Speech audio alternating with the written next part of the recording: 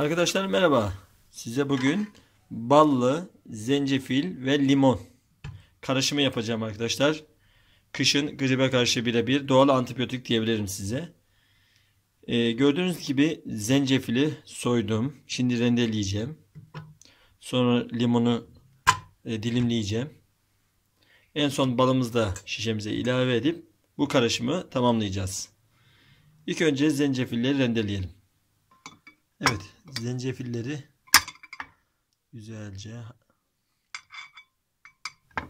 rendeledik arkadaşlar güzelce. Şimdi lim, limonları dilimleyelim. Limonları da dilimledik arkadaşlar. Şimdi şişenin içine koyalım. Zencefillerimizi. Limon. İyice dolduralım.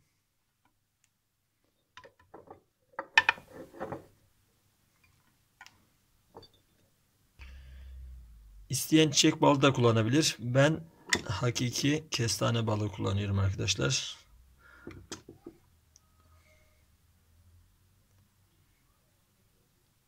Kendi balımız.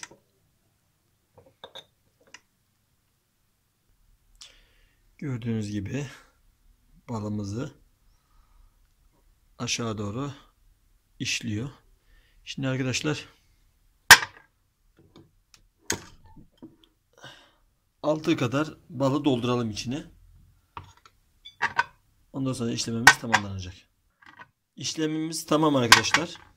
Ağzını kapatıyoruz. Senin bir yere koyalım arkadaşlar.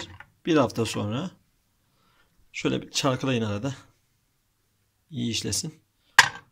Ondan sonra çayınıza veyahut da sıcak suyun içine bir çay kaşığı koyun.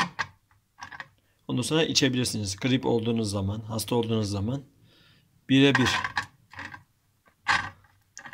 Bir başka videoda görüşmek dileğiyle kendinize iyi bakın.